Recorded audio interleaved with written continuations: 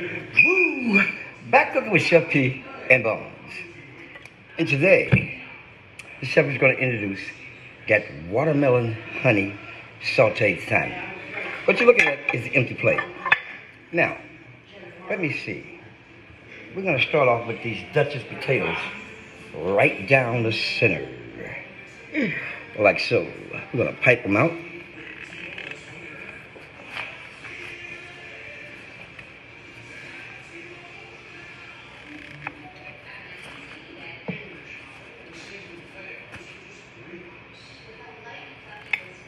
Okay, the Duchess potatoes are in. My job is to hit them with a little of this saffron butter. Like so. Family? And then, the going to mount. Uh, let me grab the salmon right quick.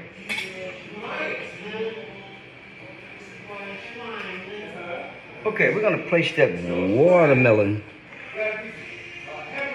honey salmon right there. Then I'm gonna mount that Cajun lemon slice right on top. And we're gonna take it to the next level. I took the skin off the uh, Cajun lemon slices and turned it into a rose. So I'm gonna sit that right there on top. Then I'm gonna come behind it with this saffron butter, like so, family. Because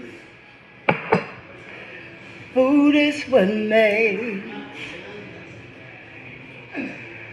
the world go round. Oh, okay, the, the client wanted mixed vegetables for some unknown reason. But we had to give them what they want, right?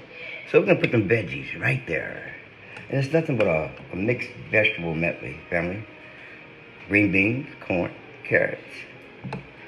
And I think I'm gonna hit that with a little saffron butter also. Okay, let's butter this up with the saffron butter. Because food is what makes the world go round, the ups and downs the carousel.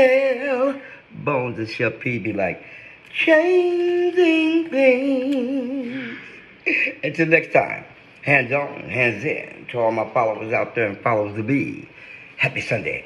God bless. Boom.